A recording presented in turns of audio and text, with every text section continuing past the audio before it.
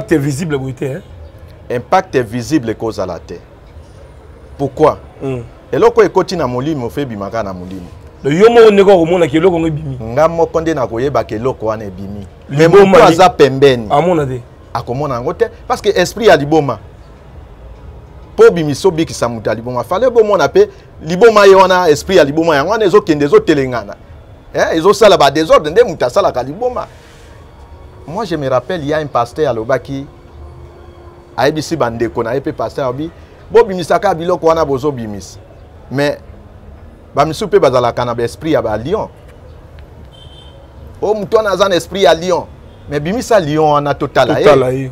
pourkui kaka mwa bampese obimisi bimisa lion nano totala ye lisolo ya baanzelu moto nyonso to ayebi eza na kati ya biblia bible mm. mm. ndenge nzambe atindaki baange epa bato ba, ndenge atindaki bamessage na ye epa baange à travers bato et surtout na bible bato bayebi kaka ange mikael mm. baarchange mikael bayebi raphael bayebi gabriel mais baange ebele bato bayebaka te or il y a plus de multitude des anges les pasteurs n'ont aucun pouvoir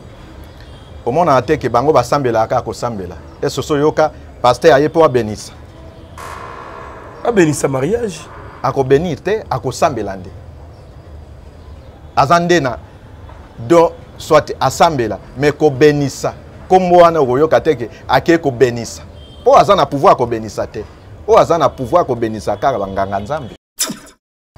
joyeux anniversaire bagato d'abord bamisusu barelation ekufaka kaka mpona basombeli ye gato d'anniversaire te mais au contraire les jours de notre anniversaire c'est les jours propices que nous pouvons se communiquer direct avec notre ange gardien. Ah bon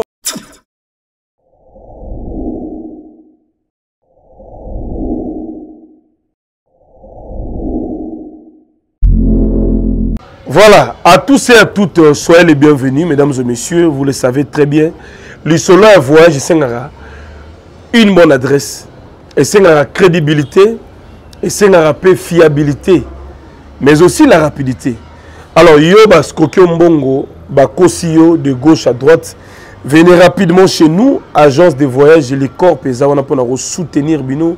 pour vous assister dans vos démarches ya voyage alors nous sommes arrivés à la fin pour euh, cet euh, entretien appelez nous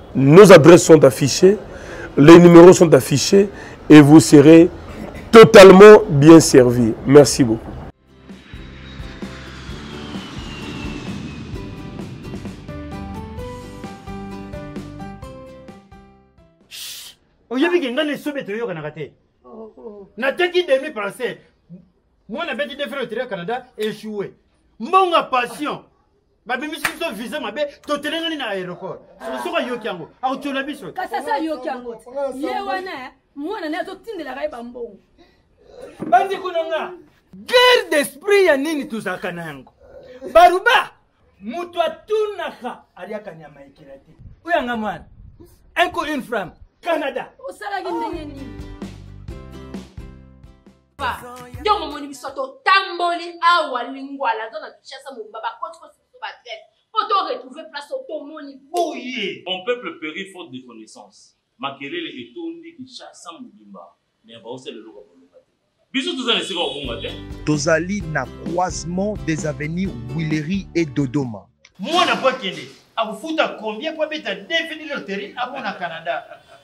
Singleton oyo tobengi mutu moko eza nango na 7 dollars. Couple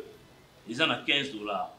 En famille, peu importe le nombre, eza ka 20 dollars. Alors, mpo na ko informer bino na ba services mosusu oyo toza nango na kati ya agence na biso Le Corp Entre Express Canada Mutual Service, toza na inscription na universite ya Ottawa, tozosala mpe inscription na universite ya Moncton. tozosala mpe oh, eh, inscription na université ya trois rivières namoni ke na agence oyo canada ya sirisi entrée express canada société amiti service licor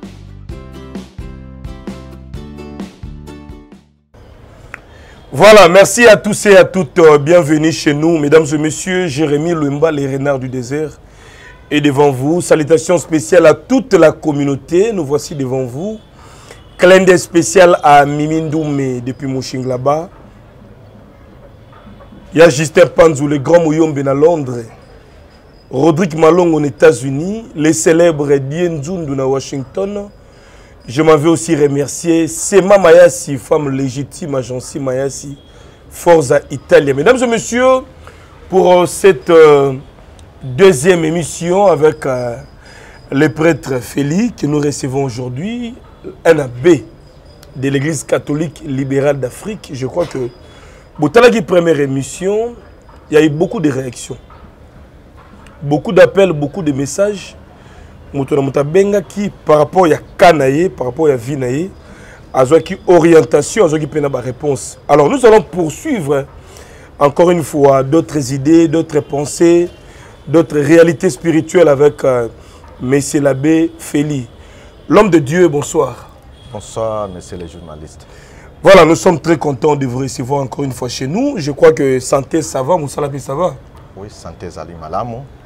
mosala mpe ezoleka malamu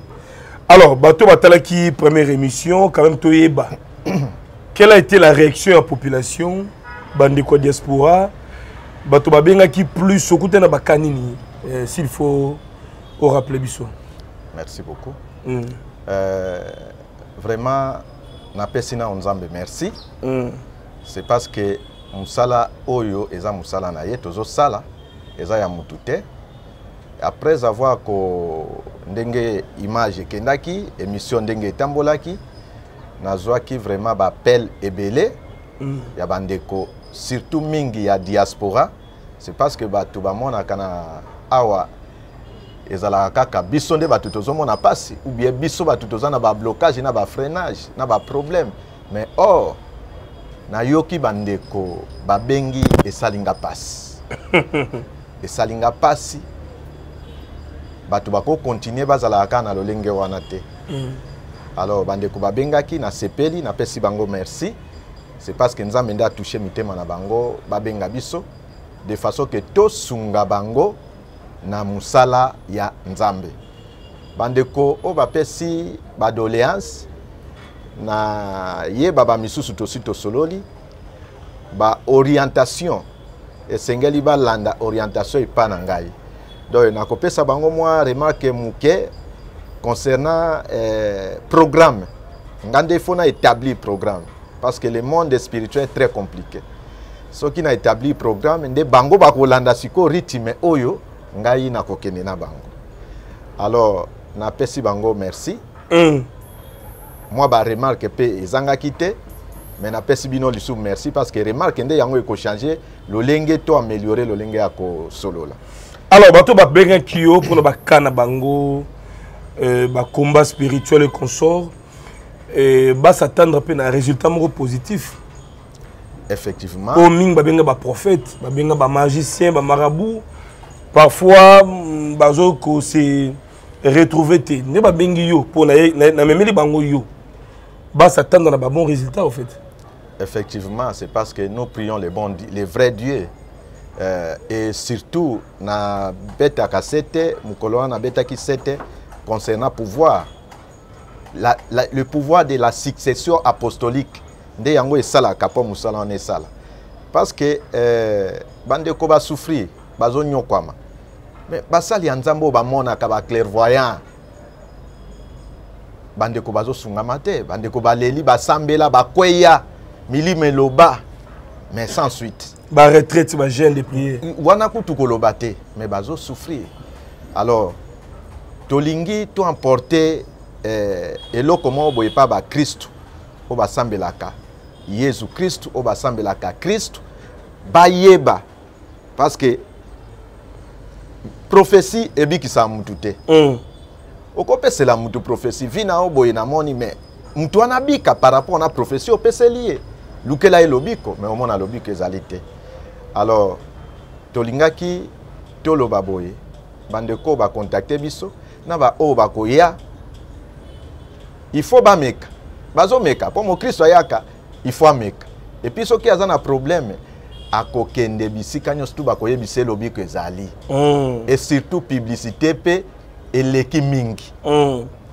ah, ngai mosali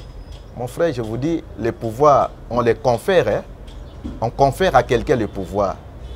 nakopesa exemple ndakisa ya mboka na biso ntango baélection esalemi na 2019 tomonaki baprograme baproclame élection balobi le président félix tshisekedi nde abimi molongi tomonaki oyo azalaki mokonzi liboso ye azala mokonzi eh, président eh, eh, Kabila. Kabila Joseph a conféré ye pouvoir donc apesi ye bonkumu wana ntango aconfere pouvoir ata population bato balobaki ah, martin fayulu nde moto aganyaki mais lokola baconferaki martin fayulu pouvoir te donc ata alobi ndenge nini bakotosa ye te mais Félix soki alobi lelo il faut bato ça est parce que on lui a conféré le pouvoir c'est mm. pourquoi ozomona bandeko baza na loboko wana donc ceux qui se disent des grands pasteurs ata asambeli mutu sans suite sans résultat ezomonana te ezokoba kaka pasi parce que ils n'ont pas le pouvoir d'agir si d'autres démons ba niveau eza par niveau mais banganga nzambe baza na pouvoir ya koagir na mosala wana alors ça c'est très bien dit merci beaucoup na bato bayebi te je reçois pour vous monsieur l'abbé feli azali prêtre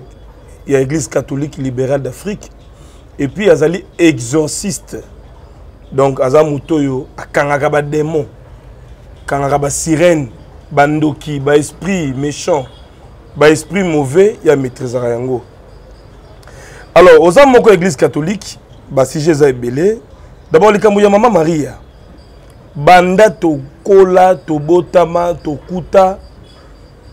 église catholique toujours symbolisé par euh, statut oyo mama, mama maria eza na baparoisse nyonso ya bino et ces images là ezalaka beaucoup plus critiqué bozo vénéré ye bokoma koadore ye mama maria ye tututu nayebi te tu peux répondre quoi par rapport à cette image oyo ya mama maria baeglise na bino merci beaucoup monsieur le journaliste mm. awa message oyo nazopesa nanu premièrement na bafidèle oyo baza ya catholique parce que bango nde bato baveneraka ba sainte vierge marie et deuxièmement message wana ezoleka mpe mpo na mokili mobimba baeklezia nyonso donc que ça soit église de reve que ça soit n'importe quelle église nazopesa mpe message wana bayoka ngai oui Mama Maria soki tobengaka ye toujours lelo tozobenga sainte vierge tobeti sete na nkombo ya vierge parce que bato mosusu batuna biso mituna mais ye ese abota sikoyo bozobenga ye vierge mpo na nini vierge parce que bato bazalaka mbangu ya koloba mais olieke avanda kimia atuna baexplike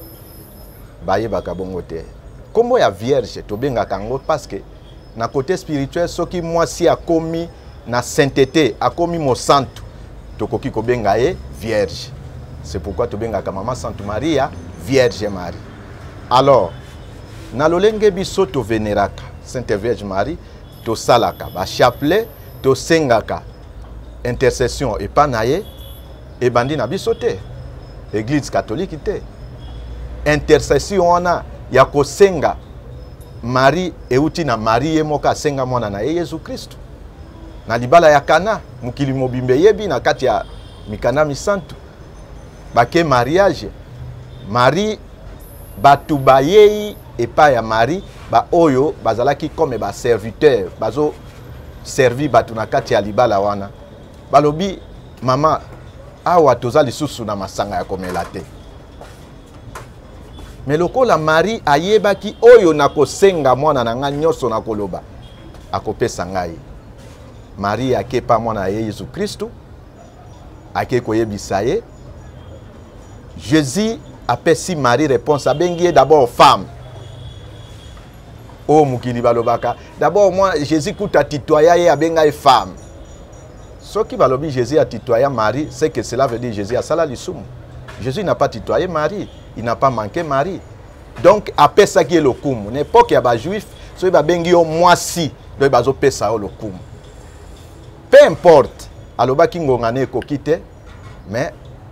marie ake lisusu ayebisi basali wana alobi nyonso akoyebisa bino bosala yango parce que marie savait bien que oyo asengi mwana na ye esengeli mwana na ye asala akosala miracle c'est pourquoi jésus asalaki miracle ya kobongola mai ekomi masanga yango omoni eloko wana na kati ya eklezia ya katolike soki eloko nyonso ezalaka kaka komeka omeki boye esimbi nde okontinue kosala yango ntango totali lolenge oyo marie azali nde yango omoni catholique basengaka sainte vierge marie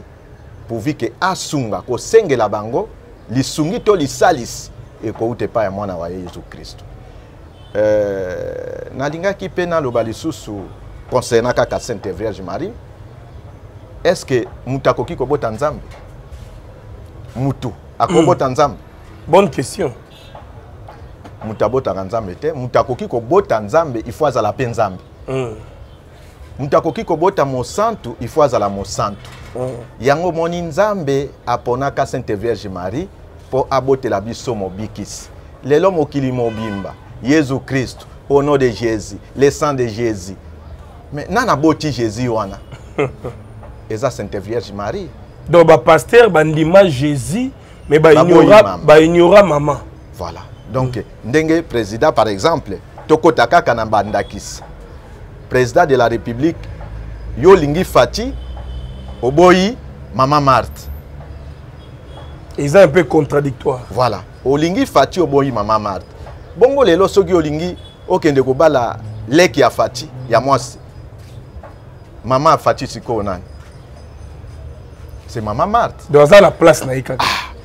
koyemba partout tobala yesu bobala yesu sikoyo mama na mbongo bopesa epa nani mpo mama il faut azala libala esengaka papa azala mama azala mm. sikoyo bino bobala yesu sikoyo mama ya yesu aza nani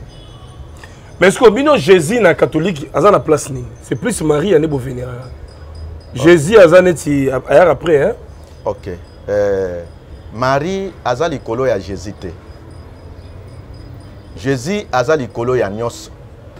Marie aza mama ya Yesu Kristu mais aza likolo ya Jésus te. Tosambelaka Marie te, tosengaka Marie asengela biso epai ya mwana na ye Yesu Kristu. Ah. Donc ezalaka bongo. Yango nalingaki naloba na sensi ya ke lelo ndakisa mosusu soki président de la république azolekana akuti amoni bato bazobama motu moko mabanga mais bagarde ne basignale babi voilà président moto bazobama mabanga wana eza mama marte yebisa ngai réaction ya président ekozala boni réaction ya président ekozala non il va agir il va agir pourquoi parce que mama na ye ezala ata aza kizengi ezala ata aza ndenge nini mais soki amoni eloko wana il faut agir epa esika mama marte avandi bagarde oyo bakokengela ye ese eza bapolicier bazokengela ye non garde républicaine kaka ok mm. bagarde républicaine wana bango nde bazokengela mpe président de la république oui. azwi bango lisusu bakengela mama na ye mm. wana biso bato bongo yesu kristu mama ne azala sans que ba ange bakengela ye donc na conclusion wana marie aza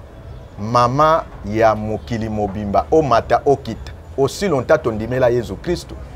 mama wana aza mama mpe ya motu nyonso tu ezala bapaster ezala baprofete bamikosa te c'est automatique c'est automatique donc aza mama ya mokili mobimba mais bokomisa yango lokola neti mwa mythe moko boye boinvokaka baesprit mpa ma maria c'est comme ça na bagrotte wana koinvoke esprit eza trop dur mm. grotte eza elembo symbole lelo papa journaliste soki mama no aza te eke balakisi yo tala foto ya mama na yo ndenge azalaki yeyo je crois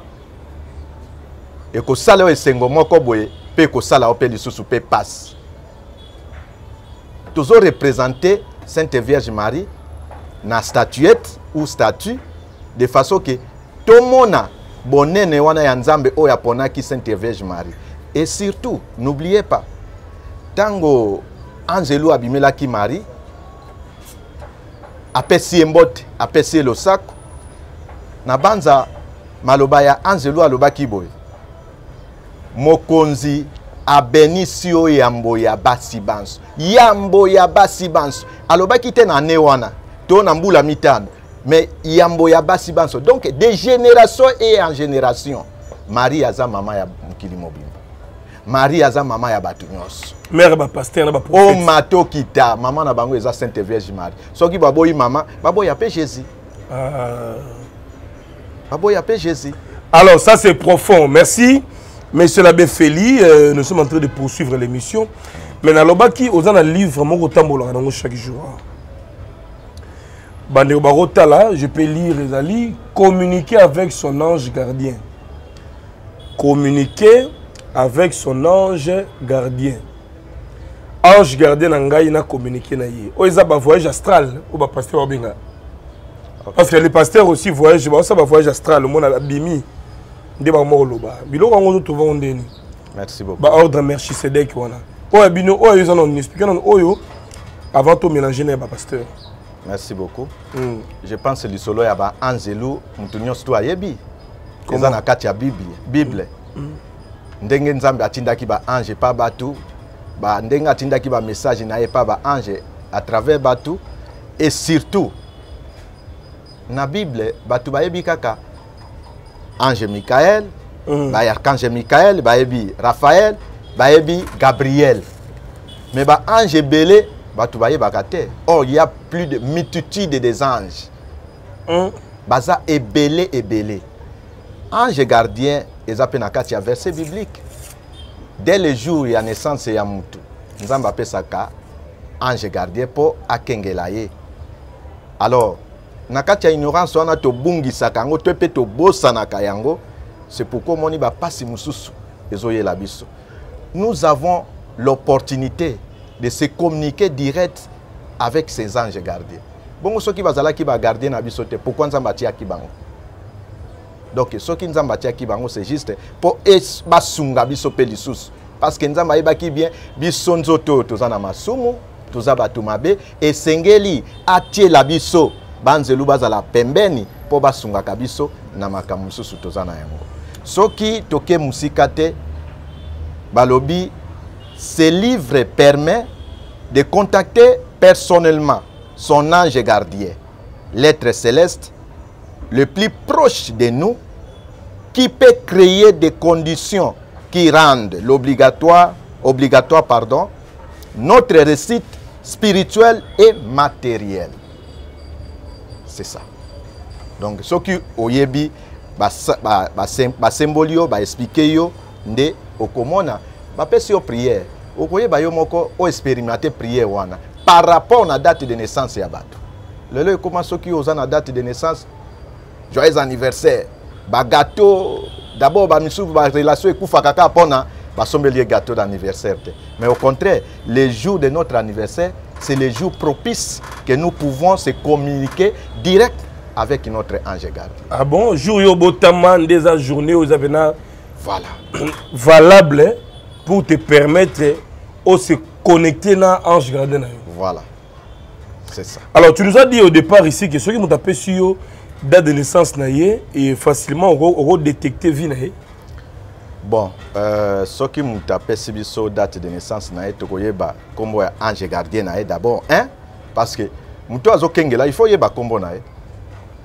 yo moto azokengele oyebi nkombo na ye te bongo soki baatake yo atake ye okosala ndenge nini mais aza garde du corps na il faut oyeba garde du corps songolo pakala yaka wana azokufa aye a intervenir mais biso ba ange gardien baza me bato bayebaka te ti ozo kende kokufa me oyebi ata nkombo ya ange gardien na yo te oyokaka ange gardien na nga batela nga me nkombo na ye nani mm. c'est pourquoi toyebisaki bato e toyo toza koyebisa mpe lisusu bato soki oyo akolinga ayeba nkombo ya ange gardien na ye mpe akontakte biso na prière mpe ndenge okoki kosala mpo na ange gardien na yo chaque jour comme ça baexpérimente losambo wana bapesa biso résultat na yango donc oyo ezali oyo bapaster bazobenga angeologie étude ya baange nde yango oyo ospeki biso bango bakosala étude ya angeologie ils ont quel pouvoir pour faire l'étude d'angeologie ils ont quelle connexion basalaka théologie bazobakisa eschatologie angiologie bapase bakoma mpe komélange ti ok mais pouvoir siko pouvoir ya kristu oyo kristu aconferaki baapotre na ye oh. parce que pouvoir na église de réveil esukaki na martin luther ebongo simo kimbangu na nsima ya martin luther mm. na église baeglise nyonso to eza en dehors ya église catholique eza na eglise moko te eza na kati ya succession apostolique parce que martin azalaki na kati ya succession apostolique ntango akufi aussi longtemps azalaki nganga nzambe moyen aconfere pouvoir epai bato misusu te pouvoir sacerdoce ya succession apostolique esukaki na martin luther na nsima ya martin luther tout le monde se sont de laïque consacré Basimo Kimbangu. Tout le monde, ce sont des, des, des laïcs consacrés. Parce que baza na kati ya succession te. Soko o comprendre molongo, ndenge na expliquer yo, ndenge na yebisi yo, Martin Luther qui fut prêtre, oyo azalaki na kati ya succession apostolique, après sa mort, succession apostolique esukaki wana. Ceux qui sont venus après Martin Luther, baza na kati ya succession apostolique te. Ba frère ba frère Branham. Frère Branham, wana branche na bango lolenge bazoloba nayebi yango te mais néanmoins que azala apostole oyo akotaki na molongo ya succession apostolique donc c'est ça Alors, ça c'est très bien dit, euh, Monsieur l'abbé Félix. Nous sommes suivis à travers le monde. Et là, le bien, selon vous, les pasteurs n'ont aucun pouvoir. Au monde, on a que bango basambela ka kosambela. Esso soyoka Pasteur aye po abenisa. Abenisa mariage. Ako benir te, ako sambela nde. Aza nde na do soit asambela mais ko benisa. Kombo wana okoyoka te ke ake ko benisa. Po aza na pouvoir ko benisa te. oyo aza na pouvoir kobenisa kaka banganga nzambe mais mais mais ntango balobaka na bible ya 5 ministère évangéliste apôtre docteur pasteur euh, je crois na prophète mm. babiloko wana bino na, na catholique ça vous dit quoi d'abord il faut mpe baza bato baconfere pouvoir na bible on dirait non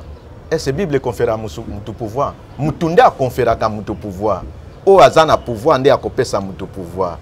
napesaki yo ndakisa ya joseph kabila na président félix euh, remise et reprise voilà mm. mais yo olamuki na ntongo oyo nakomi bishop nakomi prophète nakomi eh, eh, archevêque, archevêque. okomi olata mpe lokola archevêque mais archevêque ngai nakomi so archevêque oyo oh, die ma révélé nzambe alakisaki ngai nakomi archevêque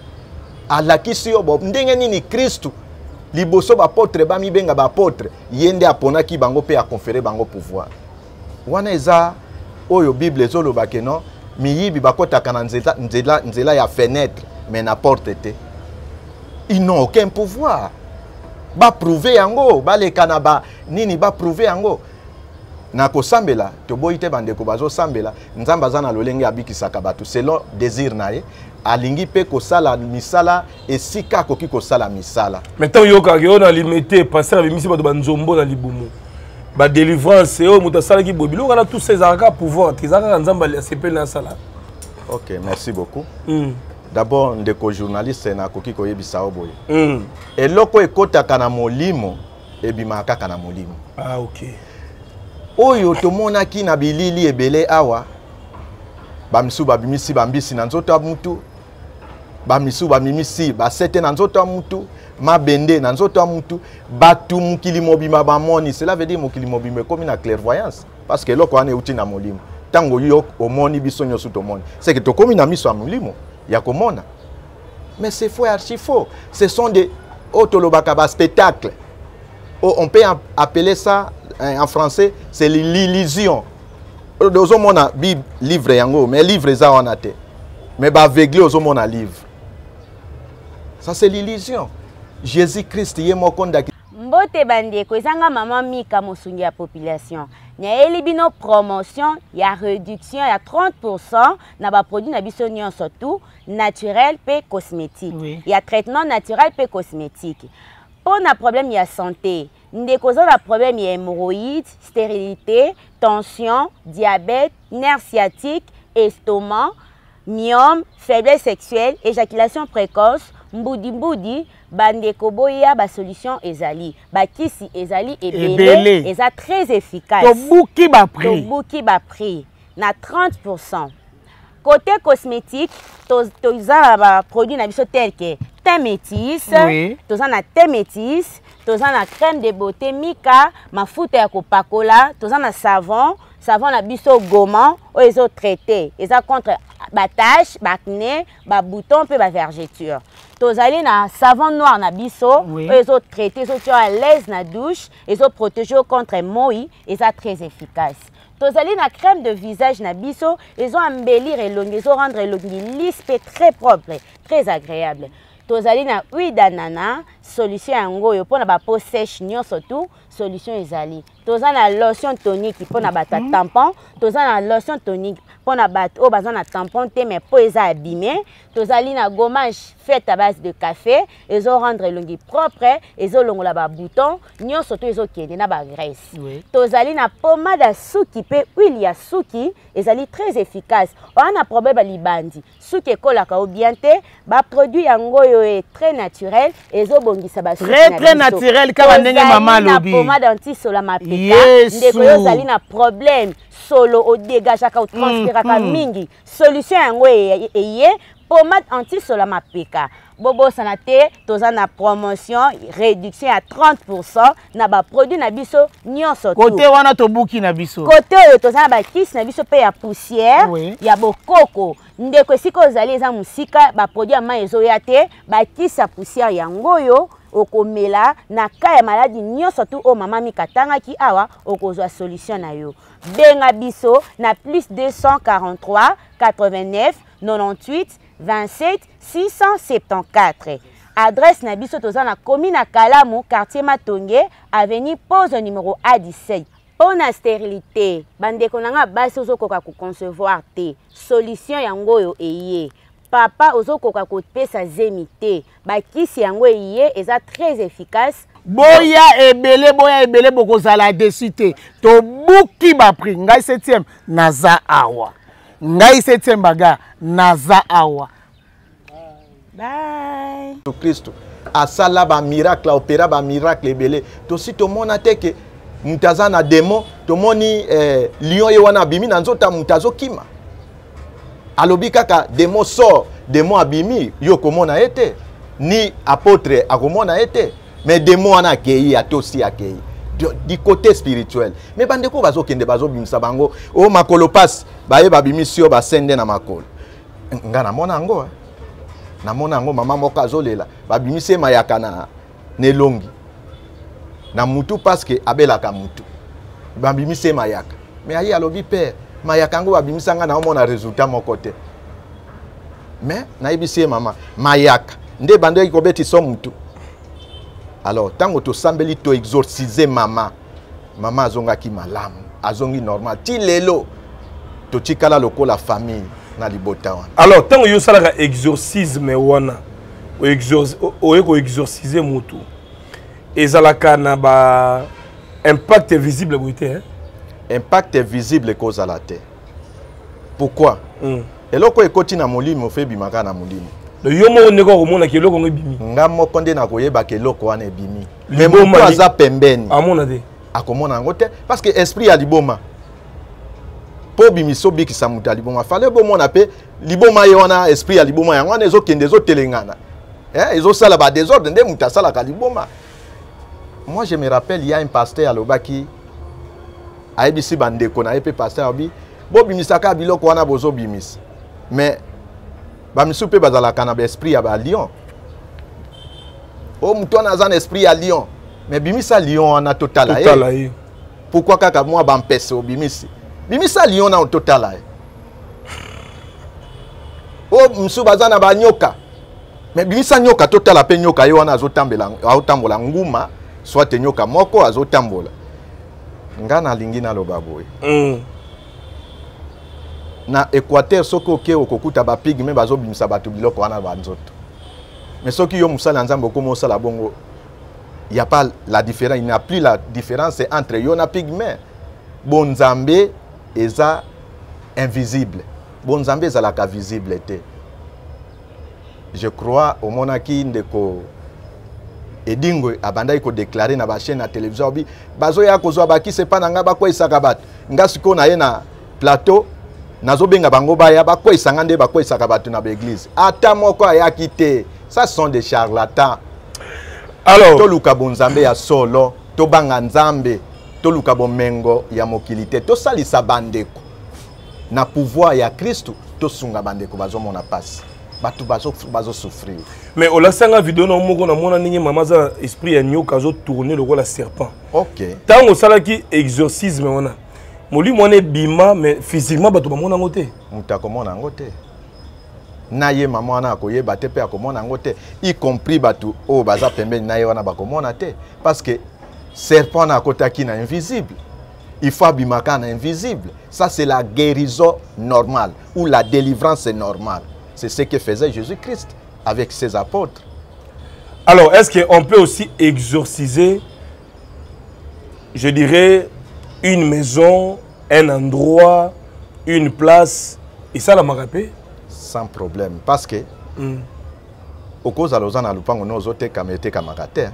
ba client bazoyate. ah. oza na mutuka no mais otie en vente mais baclient mpe bazoya te mais c'est normal eza normal on peut faire ça lupango mpe etekami on peut faire ça et puis eh, mutuka mpe etekami losambo ezali tokosala mpe ekosalema et c'est vrai aussi soki tosambela nzambe pourquoi tokozala limite nayebisaki yo na banza na emission elekaki oyo nyonso tu bandeko bakendaka epa bamarabu epa bamagicien epa bacharlatan na kati ya losambo ya exorcisme nyonso tu ezali epuis banganga nzambe nyonso baza na pouvoir wana ya koagir ya kosala kobengana bademon ezali c'est pourquoi l'exorcisme eza na baetape ebele epuis eza na makambo ebele oyo tosalaka oyo nzambe azosunga bato na nzela ya losambo wana exorcisme alors le message est bien passé mesdames et messieurs lentement et sûrement nous allons libérer l'abbé feli parce que la matière elle est abondante